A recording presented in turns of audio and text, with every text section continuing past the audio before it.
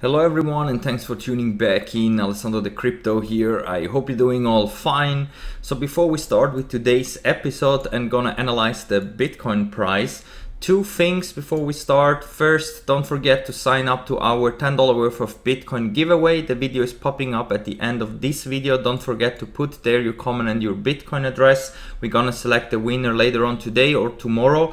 And second, from today on, Coinbase is gonna add some more fees into the withdrawal. So if you think that Coinbase has too high fees, I know Coinbase is the number one exchange, especially for beginners, but if you think that they have too high fees and you're looking for a good cheaper alternative then give it a try to Swissborg you find also the link down below here in the video description. With my link you can get up to 100 euro completely for free that you can immediately start to put into bitcoin or other cryptos that you want and here on Swissborg you always get the cheapest price and also the lowest fees. And if you stake some of their coins some of their tokens then also you will get it completely fee less so if you want to give it a try then use the link that you find down below here in the video description so you will also get some rewards and now let's start here with the one hour time frame on the Bitcoin price because currently we are still very bullish here on the Bitcoin price. We still didn't really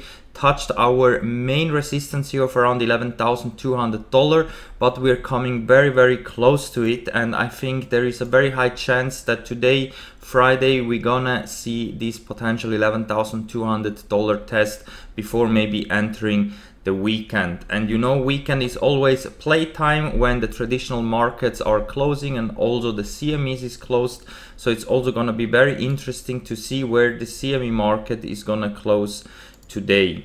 And in the one hour, you can see that currently we are still building up higher lows, which is very bullish. And it also looks like that we could be in here in a potential ascending triangle, which is a bullish pattern. And even though we had here a fake out, I think most likely we're gonna see another attempt here. Also currently, you can see that we're breaking out from this $11,000 resistance and if we're to have a successful breakout then this would be the target up here exactly at 11,200 so let's see if we can reach it up today or not and of course RSI is now above the 50 level. We still have some room left to the upside. If we go over into the Bollinger Band, you can see that currently, since we are pushing higher here, we are right at the top. So there is a high chance also here that we are getting rejected.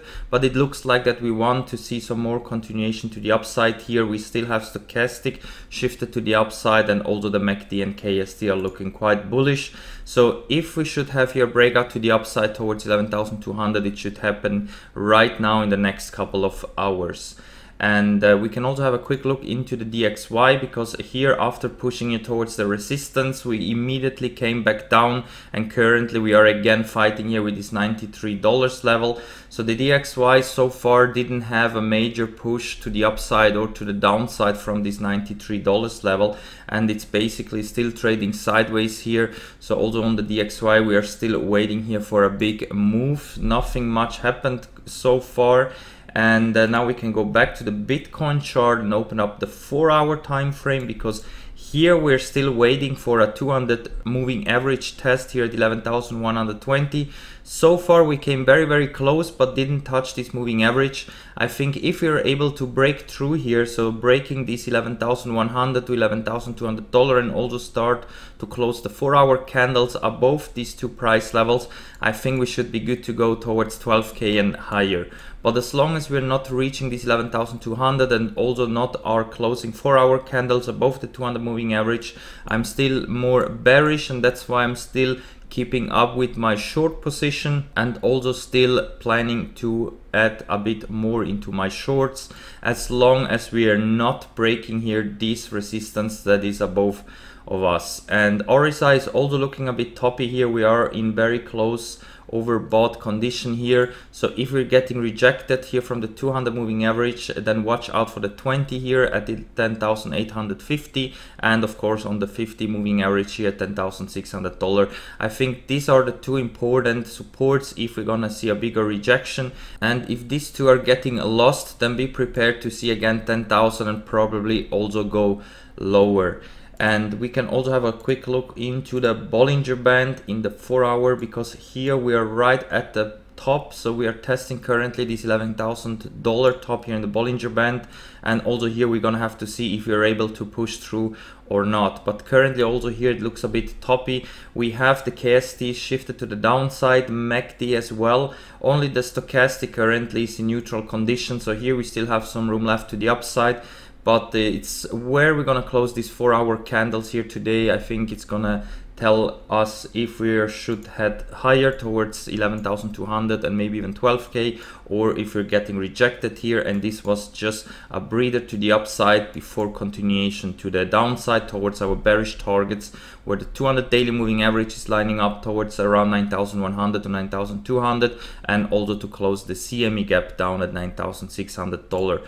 If we have a look into the DXY, as I told you here, still nothing new. We're still moving sideways here, but below all the moving averages here in the four hours. So we are in a very dangerous place here currently. If we're getting rejected here, if we're dropping lower here in the DXY potentially towards the $90 or even lower, then this could lead into a big push to the upside on the Bitcoin price. So that's why we have to keep a very close eye also what the DXY is doing, especially today since it's Friday. And usually on Fridays we see always big moves, but currently the DXY is still flat here. And now let's open up the daily time frame because here on the Bitcoin price you can see that currently we are still trading above the 20 daily moving average which is here at $10,800 so the $10,800 is a very key level for this move that we are having right now. And also the 50 daily is right here at our possible resistance point here of 11,200 dollar. RSI is here trading now above the 50 level, so in theory we would have now a lot of room left to the upside, but I still see this as a problem here, this $11,200. Only if this region is getting broken, then I think we're good to go towards 12k and higher. And if we have a look into the DXY here, although you can see we're still flat all along the 20 daily moving average. So here still nothing new. We have some closes above and some closes below the 20 daily. So also here we are waiting for a big move to the downside or to the upside. Of course, DXY long-term bearish, but we still could see a possible retest of the 50 or maybe even the 200 daily moving average up here. And this would lead into a major crash in the stock market and also in the Bitcoin price. And the DXY would still remain bearish. So this is where I'm expecting big rejection in the DXY if we're gonna have a big push here to the upside.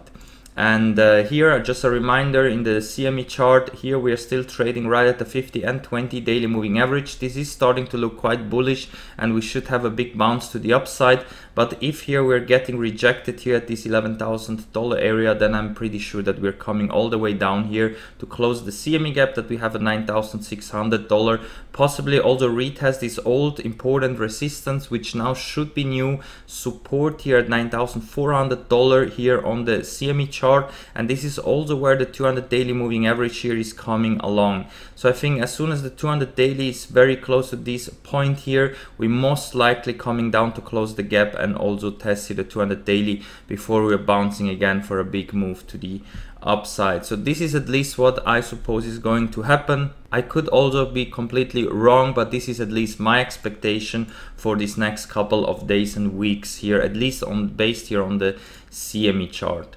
And we can also have a final look here into the weekly time frame on the Bitcoin price because here we are still very bullish. We're bouncing from the 20 weekly moving average.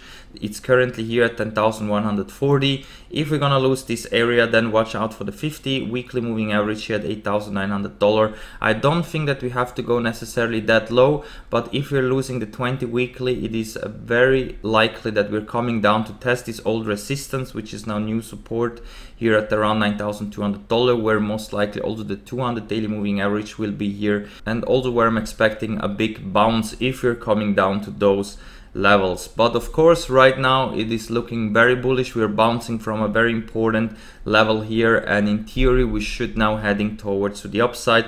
The only question is really if we are able to take out this resistance here at $11,200 if so then we can be very bullish and most likely also retest this 12k area maybe even go higher. But if we're getting rejected here in a very critical point then watch out for a major correction my friends. You should be ready for all scenarios. So if you're all in make sure that you also sometimes take out some profits. So at least you are able to buy in cheaper. If we're having a major crash or correction to the downside you should be very flexible with your trades and also with your portfolio. And just a reminder this is my final target here for a possible move to the downside here the 200 daily moving average at 9200 if we're dropping lower and also we need to close the CME gap down here 9600 this is where I'm gonna have all my buy entries between 9600 down to 9200 dollar. Also this is where I'm going to start to scale in big long position. And even if it would drop lower than that I still think that that would be really the last opportunity that you can buy really cheap Bitcoin. But I really don't think that we will go lower than the 200 daily moving average since we are already starting here the next parabolic phase for the Bitcoin price. And with that said guys, I'm gonna wrap it up for now. If you like the content, please moon up the like, subscribe here to the channel. We do daily TA videos. Also, you can feel free to join our Discord trading chat and also my channel over on Twitch. If you need any kind of trading exchanges, here you find the ones that I recommend you and also you can get up to $538 in bonus if you fulfill all the requirements here and if you're still using Coinbase Earn, I still have some free slots here to get completely free cryptos like Stellar, or Orchid or EOS. You can just use the invitation links that you find down below here for Coinbase Earn and you can get them immediately completely for free. So thank you very much for watching my friends and we're gonna see us all in the next one. Bye!